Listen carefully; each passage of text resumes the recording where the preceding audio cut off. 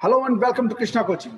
मैं Sachin Goyal director Krishna coaching I welcome you all in this special session of Indian constitution polity and the topic today is council of ministers आज हम start करने जा रहे हैं इस topic को काउंसिल ऑफ़ मिनिस्टर्स यानी भारत का मंत्री परिषद सेंटर का यूनियन गवर्नमेंट का मंत्री परिषद। मंत्री परिषद दो जगह है काउंसिल ऑफ़ मिनिस्टर दो जगह पर है।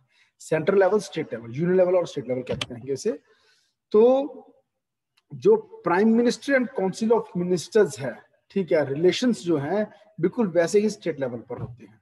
तो हम सेंटर को दिमाग में रखते हुए डिस्कस करते चलेंगे, ठीक है जी? तो काउंसिल ऑफ़ मिनिस्टर्स चीज़ क्या है? जो रूलिंग पार्टी है, ठीक है, वो कई बार कोएलिशन भी करती है कुछ और पार्टीज़ के साथ। जी कहते हैं, मिलजुली राजनीति होती है वो, ठीक है, मेलजोल की सरकार। और फिर दो तीन पार्टीज़ मिलकर सरकार बनाती हैं। अगर एक पार्टी को ही जिसे स्पष्ट क्लियर कट बहुमत मिल जाए तो उसको किसी प्रकार के कोलिशन की ज़रूरत नहीं पड़ती। फिर वो अकेली ही सभी मिनिस्ट्रीज अपने पास, सभी डिपार्टमेंट्स अपने पास रखती है, वो वाली पार्टी। क्लियर तो वो मिलकर डिपार्टमेंट हेड्स बनाती है। डिपार्टमेंट हेड्स कौन होते हैं? Cabinet rank ministers cabinet rank minister से एक लेवल नीचे होते हैं कौन? ठीक है मिनिस्टर ऑफ़ स्टेट उसके नीचे डिप्टी मिनिस्टर्स भी हो सकते हैं। Total size council of ministers का मैक्सिमम क्या हो सकता है? That is 15 percent of the strength of the popular house centre का पॉपुलर हाउस लोकसभा स्टेट का पॉपुलर हाउस विधानसभा। क्लियर ये अमेंडमेंट के द्वारा नियम आया था। ओरिजिनल कॉन्स्टिट्यूशन में 15 परसेंट जैसा कुछ नहीं था। अब हम डिटेल में करने जा रहे हैं इस टॉपिक को। ये स्टार्ट हो जाता है बेरट के हिसाब से आर्टिकल 74 से। मैं अपनी स्क्रीन आपके साथ शेयर करने जा रहा हूँ। ठीक है, ये देखिए। Now you can see my screen okay I hope you can see my screen now now let's start central council of ministers okay मैं बेरट भी आपको दिखाना चाहूँगा। ये देखिए, मैं पहले एक बार क्यों ना बेरट को ही ऊपर से सारा पढ़ा देता हूँ, दिखा देता हूँ। 74 से बेरट में ये हेडिंग शुरू हो जाती है काउंसिल ऑफ़ मिनिस्टर्स देखिए क्या क्या लिखा है। सबसे पहला 74 क्लॉज वन कहता है कि एक काउंसिल ऑफ़ मिनिस्टर्स होगी, जो कि प्रेसिडेंट को सलाह देगी और प्रेसिडेंट उसके हिसाब से ही काम करेगा। ये बहुत बार 74 क्लॉज वन कराया जा चुका है। And to act on such advice ने प्रेसिडेंट को एक रबर बना के रख दिया था। लेकिन एक बार वो रिकंसिडर करने के लिए कह सकता है किसी मिनिस्टर के फैसले को। लेकिन एक बार जो रिकंसिडर हो गया तो साइन करना ही पड़ेगा shall act in accordance okay और जो सलाह दी है, मंत्री ने प्रेसिडेंट को कभी shall not be inquired into any court clear और एक और चीज़ मैं बताना चाहूँगा कि ये वाली चीज़, एक बार जो रिकंसिडर करने के लिए कहा जा सकता है, ठीक है, ये कहाँ से ऐड हुई थी? फोर्टी फोर्थ अमेंडमेंट 1978 ओके और आगे चलते हैं। नेक्स्ट आता है हमारे पास 75 आप देख पा रहे हैं 75 को। ये कहता है कि प्राइम मिनिस्टर को अपॉइंट करेगा प्रेसिडेंट और बाकी मिनिस्टर्स को भी अपॉइंट करेगा president but on the advice of PM और पीएम किसको बनाएँगे? जिसके पास more than 50 percent of Lok Sabha का समर्थन होगा। क्लियर और काउंसिल ऑफ़ मिनिस्टर का size 15 percent of house of people से ज़्यादा नहीं हो सकता। ये कब ऐड हुआ था? ये रूल कब आया था, अब मैं आपको वो दिखाने जा रहा हूँ। ये देखिए one number by the ninety first amendment 2003 में 15 परसेंट का रूल बनाया गया था। क्लियर और आगे चलते हैं अब हम। ये देखिए, ये। जिसको डिस्क्वालीफाई कर दिया गया है, ठीक है लेजिस्लेचर में से member of that house, under the paragraph 2 of 10th schedule iska matlab hai defection dal badalne दल बदलने के आरोप पर डिफेक्शन किसने किया, यानी दल बदलना, ठीक है, जिसको डिस्कालीफाई कर दिया है, उसको दोबारा से मंत्री नहीं बनाया जा सकता shall also be disqualified to be appointed as minister under clause one for duration of the period commencing from the date of his discharge till the date on which the term of his office as such member would expire. ठीक है? जब तक उसका जो tenure था parliament का वो खत्म नहीं हो जाता, तब तक उसको मिनिस्टर नहीं बनाया जा सकता। वेयर ही और या फिर अगर वो कॉन्टेस्ट करता है इलेक्शन को, कोई भी हाउस का सेंटर का, ठीक है जी? Before the expiry of such period till the date on which he is declared elected समझिए, जो दल बदलने की वजह से अब हाउस ऑफ़ लेजिस्लेचर का मेंबर नहीं रहा है, वो अब मंत्री भी नहीं रह सकता कब तक? पहली बात। जब तक उसका वो वाला टेन्योर जो अनएक्सपायर्ड टेन्योर है, वो खत्म ना हो जाए। दूसरा, उस दौरान अगर वो फिर से इलेक्शन लड़के जीत जाता है तो जब तक वो जीत के इलेक्ट नहीं होता, तब तक। Whichever is okay then सभी मिनिस्टर्स ऑफ़िस होल्ड करते हैं till the till they enjoy the pleasure of president इसे हम कहते हैं डॉक्टर ऑफ़ प्लेजर लेकिन एग्जैक्टली exactly ये होता क्या है? जब तक पीएम चाहेगा तब तक। बिना पीएम के कहे प्रेसिडेंट किसी मिनिस्टर को हटा नहीं सकता। और सभी मिनिस्टर्स कलेक्टिवली रिस्पॉन्सिबल है टू लोकसभा और मैंने कल भी बताया था कि all ministers are individually responsible to president of India okay और जितने भी ये मंत्री है, इनको ओथ कौन दिलवाएगा? ठीक है? थर्ड स्केड्यूल के हिसाब से प्रेसिडेंट दिलवाएगा इनको शपथ। क्लियर और आगे चलते हैं हम।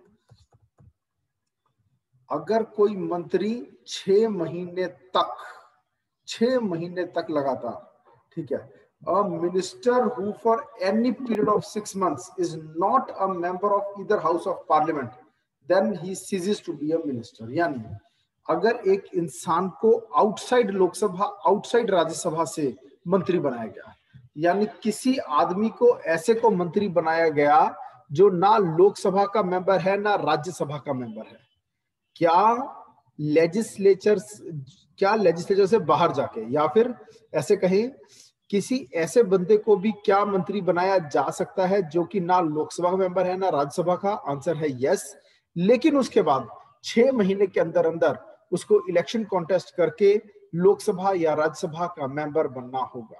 ओके और आगे चलते हैं। Is not a member of either house of parliament shall at next salaries जितने भी मंत्री हैं, उनकी सैलरी और अलाउंसेस कौन डिटरमिन करेगा? पार्लियामेंट एज पार्लियामेंट फिर टाइम टू टाइम डिटरमिन ठीक है जी? और जब तक पार्लियामेंट डिटरमिन नहीं करती है, तब तक कितनी मिलेगी? जब कॉन्स्टिट्यूशन लागू हुआ था, तब सेकंड शेड्यूल में उनकी सैलरी लिखी गई थी। तो ये काउंसिल ऑफ़ मिनिस्टर्स के मेन मेन सभी रूल्स कहाँ दिए हैं? आर्टिकल 74 ठीक है? और आर्टिकल 75 क्लियर अब हम आगे चलते हैं। नोट्स की तरफ़ ओके ये नोट्स आपको दिए जा चुके हैं। अब हम चलते हैं। हमारे देश में जो सेंट्रल काउंसिल ऑफ़ मिनिस्टर्स है, ठीक है, वो वैसे काम करेगा जैसे कि पार्लियामेंट्री सिस्टम में होता है, जैसा कि ब्रिटिश पैटर्न है। तो हमारे यहाँ का council of ministers legislative procedure parliamentary procedure as per British pattern चलता है ओके हेडेड बाय पीएम ठीक है? क्योंकि प्राइम मिनिस्टर ही रियल एग्जीक्यूटिव अथॉरिटी होल्ड करता है ठीक है, ये पॉलिटिको एडमिनिस्ट्रेटिव सिस्टम है हमारा। ओके और डिटेल्स नहीं दी हुई है कॉन्स्टिट्यूशन में इसकी, सिर्फ़ दो आर्टिकल्स हैं 74 में और 75 में कैसे काम करेगा काउंसिल ऑफ़ मिनिस्टर्स और ये दो आर्टिकल्स सिर्फ़ ब्रॉड स्केची और जनरल मैनर के रूल्स को सामने रखता है। ठीक है, जहाँ आर्टिकल 74 स्टेटस की बात करता है, वहीं article 75 appointment tenure responsibility qualification oath और सैलरी की बात करता है, जो अभी हम डिस्कस करके आए हैं। अब अगला पॉइंट जो इंपॉर्टेंट पॉइंट है, वो है मेजर कॉन्स्टिट्यूशनल प्रोविजंस ये हम अभी भी डिस्कस करके हटे हैं। ठीक है जी? कि एक पीएम होगा, जो एडवाइस करेगा प्रेसिडेंट को और वो उसकी बात मानेगा।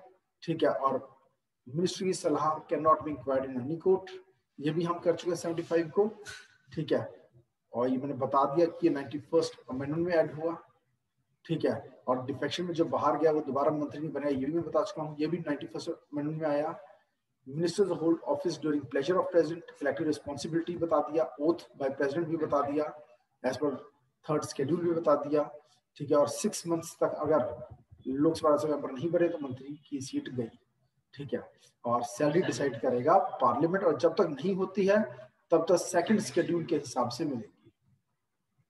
क्लियर अब आता है seventy seven conduct of business of the government of India ठीक है जी? ये क्या है? समझिए। जितना भी एग्जीक्यूटिव एक्शन है भारत सरकार का, वो प्रेसिडेंट के नाम पर होगा। All orders are in the name of the in the name of the president of India और स्टेट में in the name of governor of the state clear आगे। जितने भी ऑर्डर्स और इंस्ट्रूमेंट्स हैं they are made and executed in the name of president and they are authenticated as per the rules made by president okay और कभी भी validity of such an order और instrument can not called in question on the ground that is not an order or instrument made or executed by president himself. क्योंकि जो president के नाम से उसे सबॉर्डिनेट किया वो भी प्रेसिडेंट का ही काम माना जाएगा और रूल्स भी कैसे काम होगा वो भी रूल्स शैल बी मेड ठीक है, कि कैसे बिज़नेस ट्रांजैक्ट किया जाएगा गवर्नमेंट ऑफ़ इंडिया का, ठीक है, और कैसे एलोकेशन होगी काम की among the ministers of the said business, वो सब ये rules president shall make the rules in consultation with PM and Council of Ministers. ये उसकी डिस्कशन पास नहीं है। प्राइम मिनिस्टर की ड्यूटीज़ भी हम पहले डिस्कस कर चुके हैं कि आर्टिकल 78 कहता है कि वो चैनल ऑफ़ कम्युनिकेशन होगा। काउंसिल ऑफ़ मिनिस्टर्स और प्रेसिडेंट के बीच में PM will be the channel of communication ठीक है?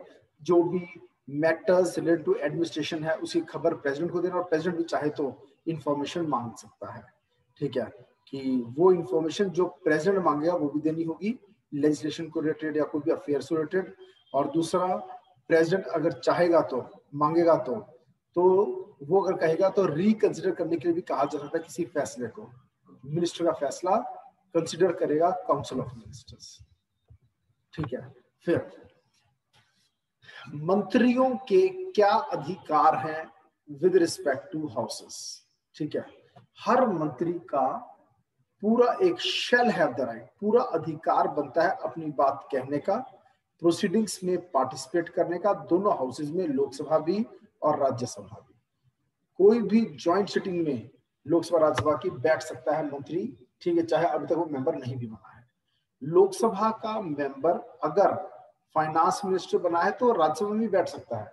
राज्यसभा मेंबर फाइनेंस मिनिस्टर बना है तो कोई भी मंत्री परिषद, कोई भी मंत्री बना है तो दोनों हाउसेज में अपनी बात कहेगा, पर वोटिंग उसी हाउस में करेगा जहाँ की उसकी सीट है। ठीक है? He shall not be entitled to vote in both the houses okay और आगे चलते हैं।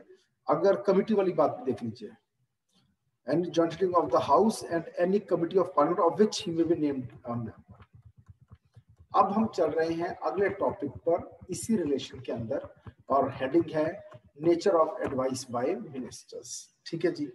फोर्टी सेकेंड अमेंडमेंट और फोर्टी फोर्थ अमेंडमेंट इंपॉर्टेंट है। आर्टिकल 74 क्लॉज वन कहता है कि जो सलाह देंगे प्रेसिडेंट को पीएम और काउंसिल ऑफ़ मिनिस्टर्स उसे बंध जाएगा प्रेसिडेंट उसको करना पड़ेगा। मगर फोर्टी फोर्थ अमेंडमेंट कहती है, एक बार रिकंसिडर करने के लिए कह सकता है। प्रेसिडेंट ऑफ़ इंडिया पर अगर रिकंसिडर होकर आ गया, ये मोरारजी देसाई ने की थी pass forty fourth amendment forty second mini constitution है। ये इंटरनल डिस्टर्बेंस के ग्राउंड पर लगी नेशनल इमरजेंसी जो इंदिरा गांधी ने लगाई थी, उस दौरान मिनी कॉन्स्टिट्यूशन इंदिरा गांधी लेकर आई थी। उसमें कहा गया था कि जो कह देगा PM and council of ministers वो करना पड़ेगा प्रेसिडेंट को। मगर फोर्टी में कहा गया मुरारी देसाई की सरकार में एक बार रिकंसिडर करवा सकता है प्रेसिडेंट पर अगर रिकंसिडर हो गई, तब तो साइन करने ही पड़ेंगे। Have made the advice binding on the president ठीक है जी? Moreover such advice can not be inquired by any court ठीक है? इससे क्या पता चलता है? इससे पता चलता है कि हमारा कॉन्स्टिट्यूशन कॉन्स्टिट्यूशन एनविसेज करता है intimate and confidential relationship between president and ministers और आगे चलते हैं। 1971 में 1971 में सुप्रीम कोर्ट ने इसी पॉइंट पर अपने विचार रखे और कहा कि जब लोकसभा डिसॉल्व हो जाती है even after the dissolution of Lok Sabha council of ministers does not cease to hold office council of minister तब भी ऑफ़िस में रहते जब तो नया काउंसिल ऑफ़ मिनिस्टर नहीं बन जाता। आर्टिकल 74 मैंडेटरी है। इसलिए president can not exercise the executive power without the aid and advice of council of ministers तो जब लोकसभा डिसॉल्व होगी, तब भी council of ministers acting PM acting ministers के रूप में कंटिन्यू करेंगे। Any exercise of executive power without aid and advice will be unconstitutional क्योंकि आर्टिकल 74 की वॉलेशन होगी और मैं बार फिर से बताना चाहूँगा कि आर्टिकल 74 जो है, ठीक है, वो एक ऐसी चीज़ है जिसके हिसाब से ही चलना होगा। ये मैंडेटरी है। दिस इज़ मैंडेटरी डायरेक्टरी नहीं है। आर्टिकल 74 मैंडेटरी है। चले आगे और आगे चलते हैं। फिर 1974 में एक और बार सुप्रीम कोर्ट ने इस पर अपने विचार रखे कि जहाँ पर भी कॉन्स्टिट्यूशन में सेटिस्फेक्शन ऑफ़ प्रेसिडेंट की बात होगी, उसका मतलब पर्सनल सेटिस्फेक्शन बिल्कुल ना निकाला जाए, बल्कि उसका मतलब समझा जाए it is satisfaction of council of ministers यानी no discretionary parts in the hands of president only a few दो तीन सिर्फ़ तीन कॉन्स्टिट्यूशनल सिर्फ़ कॉन्स्टिट्यूशनल सिचुएशनल पावर्स हैं जो डिस्क्रिशनरी हैं। Substantive discretionary powers are not given to the president जहाँ भी सेटिस्फेक्शन ऑफ़ प्रेसिडेंट की बात है, इसका मतलब satisfaction of PM and council of ministers की बात हो रही है। वो with whose aid and on whose advice the president has to exercise his powers and functions president को काम करना होगा as per advice of PM and council of ministers clear अब हम चलते हैं अपॉइंटमेंट प्रेसिडेंट अपॉइंट करेगा पीएम को और पीएम के के कहने पर वो और मंत्रियों को अपॉइंट करेगा क्या लेजिस्लेचर से बाहर के किसी आदमी को मंत्री बनाया जा सकता है यस हाँ बनाया जा सकता है ठीक है? मगर फिर उसको छह महीने के अंदर अंदर लोकसभा या राज्यसभा का मेंबर भी बनना होगा। Any questions substantive discretionary powers क्या है? समझिए। प्रेसिडेंट ऑफ़ इंडिया को वाइड डिस्क्रिशनरी पावर्स कॉन्फर नहीं करता है कॉन्स्टिट्यूशन कि जो उसके दिल में आता है वो करे। मात्र कुछ सिचुएशनल डिस्क्रिशनरी पावर्स देता है हमारा कॉन्स्टिट्यूशन प्रेसिडेंट को। क्या होती हैं सिचुएशनल डिस्क्रिशनरी पावर्स अगर किसी को भी बहुमत नहीं मिला, किसी को भी अगर बहुमत नहीं मिला तो किसको बनाएँगे पीएम ये ऐसी सिचुएशन अगर पैदा हो गई, फिर डिस्क्रिशन ऑफ़ प्रेसिडेंट काम करेगी। सेकंड अगर प्राइम मिनिस्टर ने खो दिया है confidence of Lok Sabha more than 50 percent members of Lok Sabha अब प्राइम मिनिस्टर में कॉन्फिडेंस शो नहीं कर रहे हैं। और किसी और को भी, किसी और को भी मौका नहीं दिया जा सकता पीएम बनने का, क्योंकि किसी और के पास भी more than 50 percent of Lok Sabha का समर्थन नहीं है। तो क्या करें? क्या उसी को उसी इंसान को कंटिन्यू किया जाए एज पीएम या फिर डिसॉल्व कर दिया जाए लोकसभा को। अगर ऐसी सिचुएशन पैदा हो गई तो ये वाली डिस्क्रिप्शन पावर प्रेसिडेंट के पास है। वैसे कोई डिस्क्रिप्शन पास नहीं है प्रेसिडेंट के पास। तो मैंने प्रेसिडेंट के चैप्टर में आपको सिचुएशनल डिस्क्रिप्शन पार्स के बारे में बताया था। मैं सोच रहा हूँ, मैं एक बार फिर से दोबारा दिखा दूँ आपको, ये देखियो।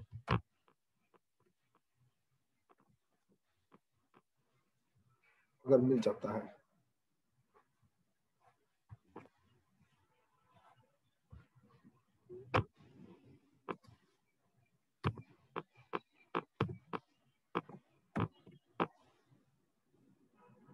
ये है situational discussion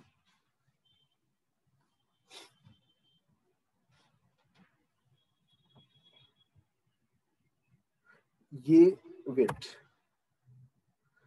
though the president has no constitutional discretion he has some situational discretion मिल गया आपको? ये मैं पहले ही पढ़ा चुका हूँ। क्लियर और मैंने बताया था कि कोई सब्सटांटिव सब्सटांटिव डिस्क्रिशन और डिस्क्रिप्शन पास नहीं है। ये लिखा है नो कॉन्स्टिट्यूशनल डिस्क्रिशनरी पास इन्हीं को हम सब्सटांटिव डिस्क्रिशनरी पार्स भी कह कह सकते हैं। और ये है, उसके पास केवल situational discretionary powers okay discretionary powers यानी कि when he is free to act when he is when he is allowed to act without the advice of ministers without the advice of minister वो काम कर सकता है, उसके हम, उसको हम डिस्क्रिशनरी पावर्स कहते हैं जो अगर दो तरह की हैं। कॉन्स्टिट्यूशनल डिस्क्रिशन यानी कि सब्सटेंटिव डिस्क्रिशन ये है पहली टाइप और दूसरी है सिचुएशनल डिस्क्रिशन तो उसके पास केवल ये तीन सिचुएशनल डिस्क्रिशनरी पावर्स हैं। डिजोल्यूशन ऑफ़ लोकसभा अगर किसी के पास भी मेजोरिटी नहीं है dismissal of council of ministers जब उनके पास कॉर्नस ऑफ़ लोकसभा खत्म हो गया है, और फिर अपॉइंटमेंट ऑफ़ पीएम अगर किसी के भी पास क्लियर मेजोरिटी नहीं है। तो ये थ्री सिचुएशनल डिस्क्रिशनरी पार्स हैं प्रेसिडेंट ऑफ़ इंडिया की। आपको आपके सवाल का जवाब मिल गया है बच्चे? मिल गया? यस सर आगे चलते हैं। आई थिंक हम फोर थ्री एट नंबर पे थे five three eight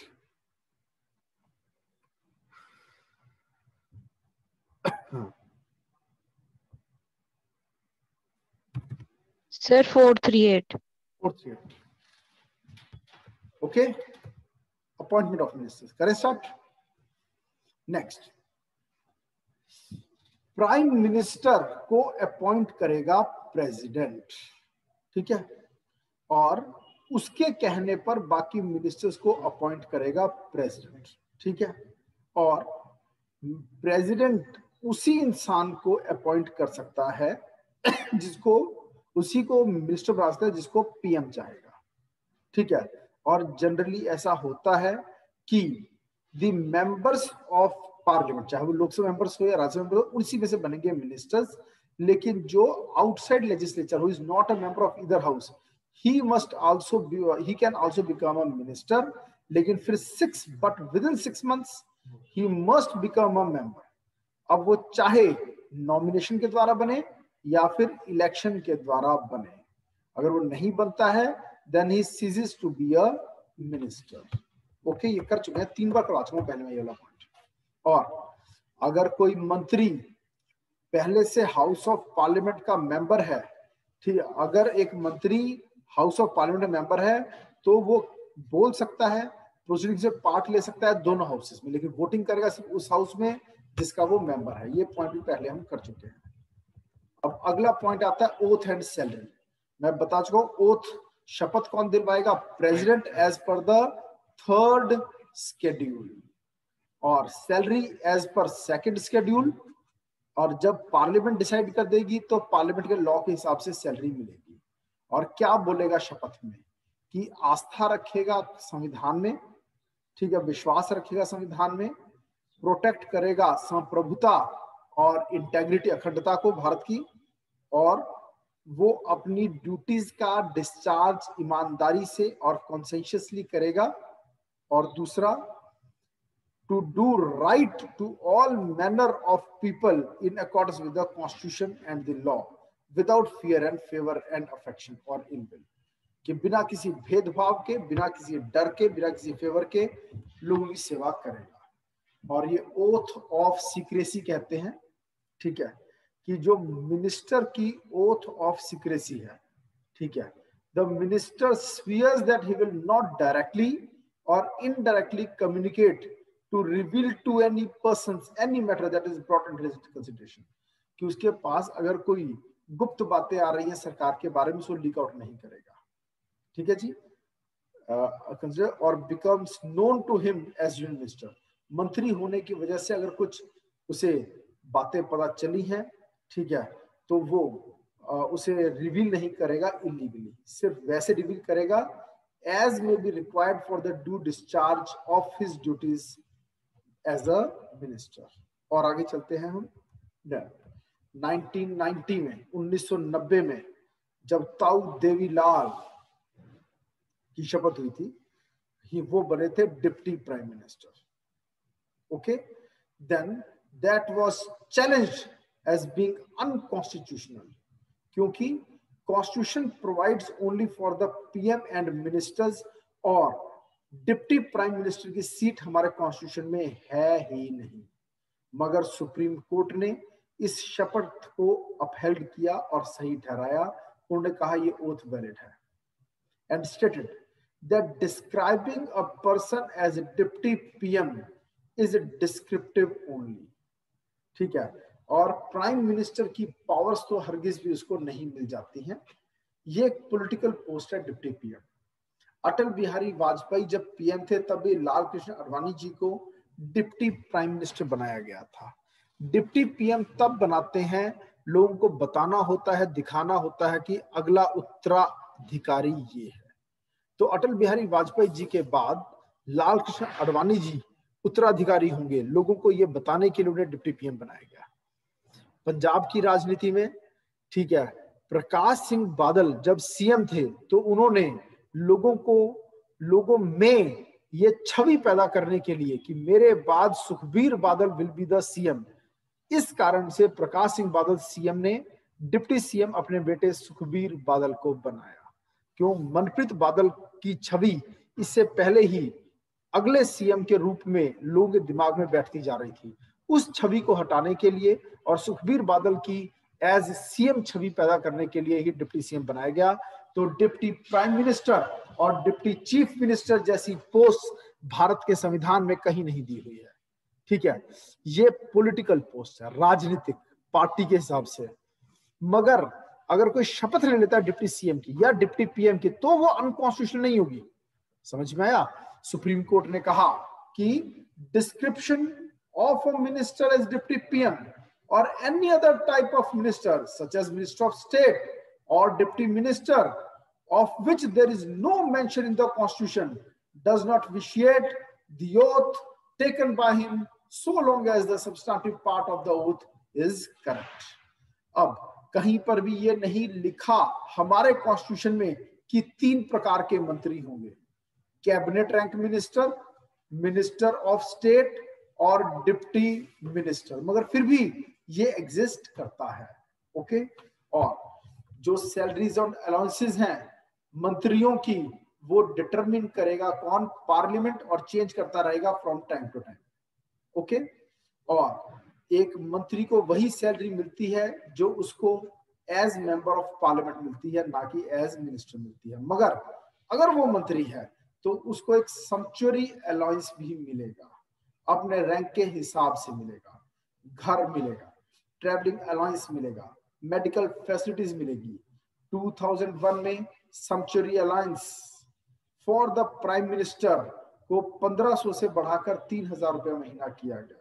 और कैबिनेट मिनिस्टर का एक हज़ार से बढ़ाकर दो हज़ार रुपया महीना किया गया। और मिनिस्टर ऑफ़ स्टेट का पाँच सौ रुपया महीना से बढ़ाकर एक हज़ार रुपया महीना किया गया। डिप्टी मिनिस्टर का 300 से 600 किया गया। क्लियर और एक क्वेश्चन आता है अब यहाँ। What is the difference between nominated and elected बहुत ही बेसिक क्वेश्चन पूछा ये आपने। समझिए। इलेक्शन के द्वारा मेंबर बनना और नॉमिनेशन के द्वारा मेंबर बनने में क्या फ़र्क है? समझो। इसको हम कहते हैं मनोनीत करना। मनोनीत करना। समझिए, राज्यसभा में 12 मेंबर्स नॉमिनेटेड नॉमिनेटेड होते हैं।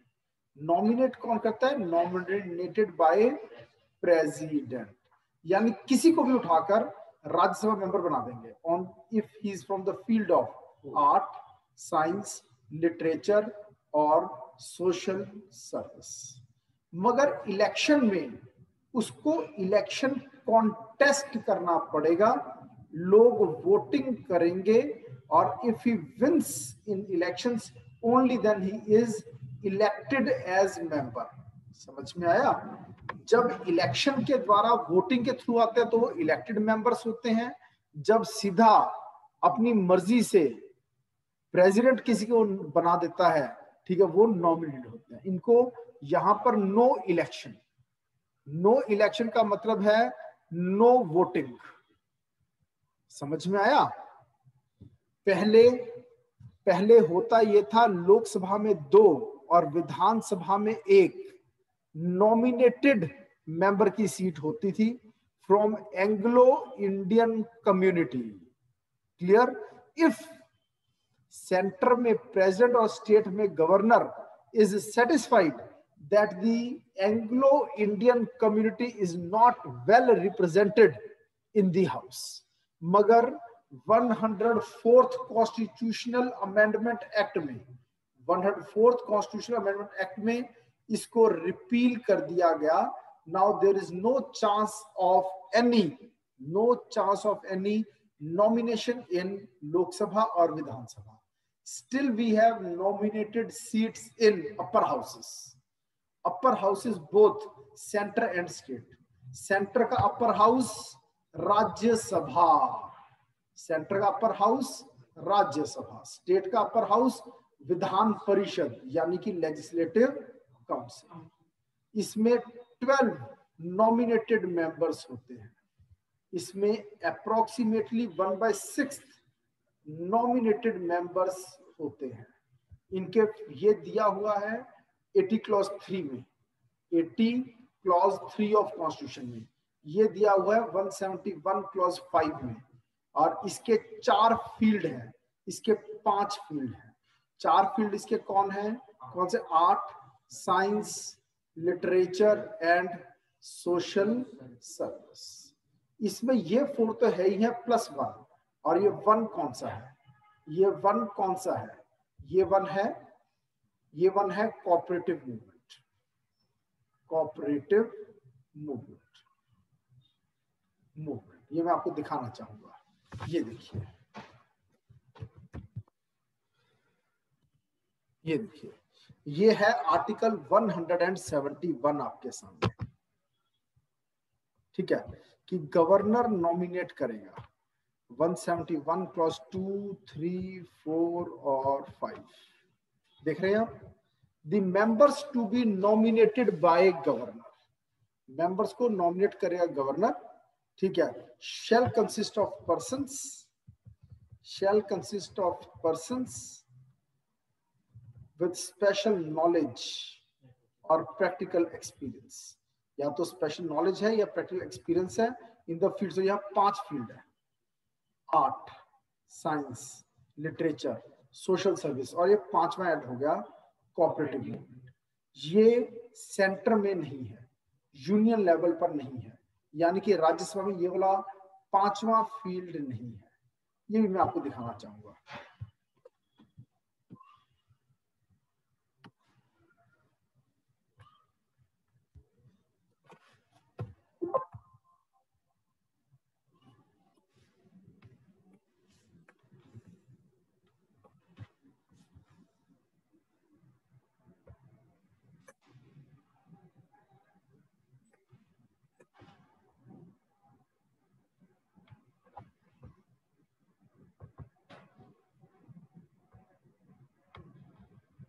ये देखिए।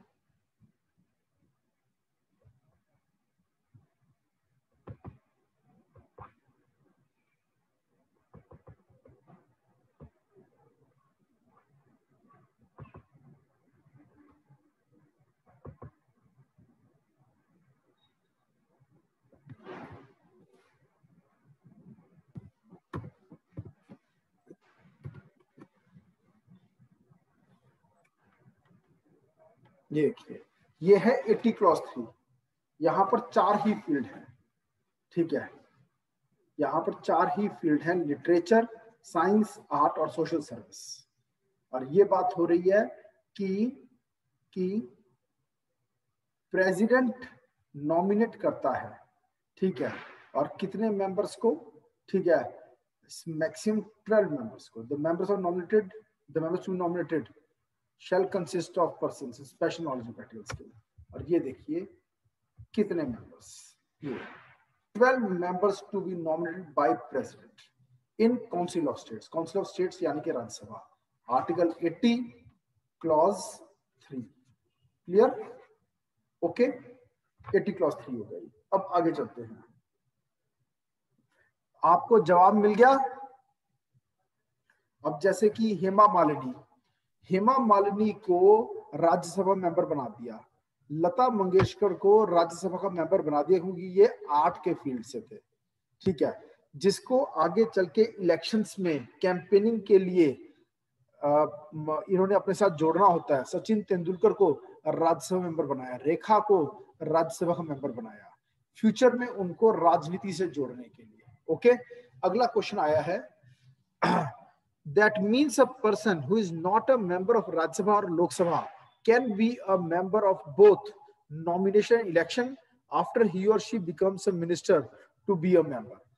यहाँ पर एंड की जगह आपको और वर्ड यूज़ करना चाहिए था। मैंने बताया कि जब एक इंसान अपने क्वेश्चन में आपको एंड की जगह और वर्ड नॉमिनेशन और इलेक्शन ना कि नॉमिनेशन एंड इलेक्शन ये देखिए अभी अभी मैं पढ़ाकर okay.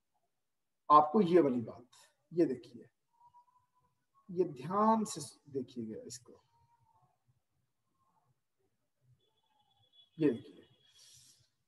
Usually the members of parliament either Lok Sabha or Rajya Sabha are appointed as ministers generally तो उसी को मंत्री बनाते हैं जो लोकसभा या राज्यसभा का मेंबर हो। लेकिन a person who is not a member of either house of parliament can also be appointed as a minister. ठीक है? ना तो वो लोकसभा मेंबर है, ना ही वो आदमी राज्यसभा मेंबर है और उसको भी मंत्री बना सकते हैं, लेकिन but within six months he must become a member either by election यहाँ और वर्ड है।